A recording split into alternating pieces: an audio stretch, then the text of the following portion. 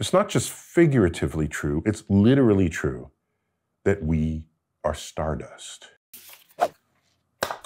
What's something about the universe that makes you emotional? All of it. But especially the fact that the ingredients of life itself, you know, hydrogen is in our bodies. That was birthed in the Big Bang. And then we have carbon, nitrogen, oxygen, silicon, uh, iron. Those elements did not come from the Big Bang, they came from stars forged in their core from thermonuclear fusion. And those stars happen to be the stars that also explode, scattering that enrichment across the galaxy, allowing subsequent generations of stars to have planets, some of which have the right ingredients for life.